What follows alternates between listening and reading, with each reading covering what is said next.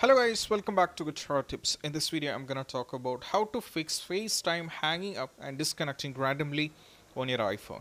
Right? So I'm gonna show you some of the five methods which you have to try out, which is going to fix the issue. Now from here, what you have to do is you just have to scroll down a little bit. Right? Then you have to go for reset option here. You have to select this. Then there is Z reset network which you have to select and you have to go for reset network after giving the passcode which is going to fix the issue up. Most probably this can fix the issue, right? What you have to do is you just have to go to general and you have to reset your network settings, which can fix the issue up. And the one which I just wanted to make you notice is just make sure that your iPhone is not overheating enough. So due to some reason it can happen in between.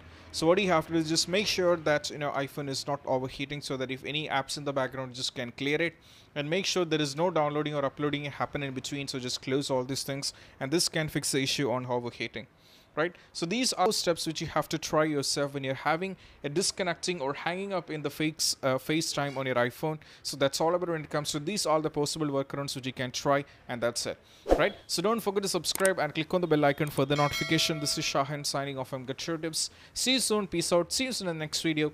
Keep practice social distance. That's it. Thank you